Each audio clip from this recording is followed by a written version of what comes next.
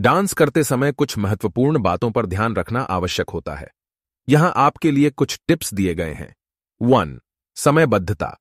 Dance करते समय समयबद्ध रहने का प्रयास करें। यदि आप एक ग्रुप डांस कर रहे हैं तो अन्य संगठन सदस्यों के साथ समय में समन्वय बनाए रखने का भी ध्यान रखें। टू, सही पोस्चर। सही पोस्चर बनाने का प्रयास करें। इसके लिए अपने शरीर को समय समय पर स्थिति बदलते रहने की ज़रूरत होती है। सही पोस्चर न केवल आपको एक अच्छे डांसर बनाती है, बल्कि यह आपके शरीर को चोट लगने की संभावना को भी कम करती है। थ्री भावना और भावुकता।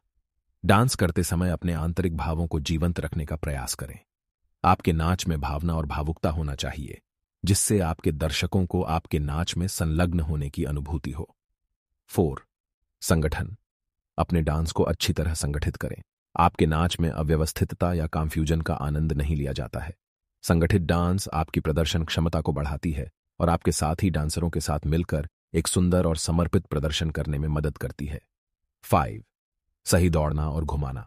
डांस में बदलती दिशाओं, चालों और घुमावों को सही तरीके से करने का ध्यान रखें। यह आपके नाच को गतिशील और आकर्षक बनाता है। सही दौड़ना और घुमाना आपके पैरों की सुरक्षा के साथ साथ आपके नाच के प्रभाव को भी बढ़ाता है। सिक्स, व्यायाम। अपने शरीर को नाच के लिए फिट रखने के लिए नियमित रूप से व्यायाम करें।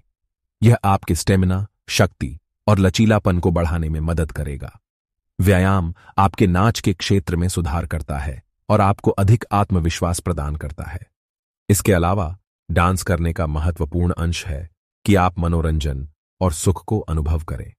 अपने नाच के मज़े लें और खुद को संकल्पित करें, क्योंकि यह आपका अभिनय है और आपके रंगमंच है।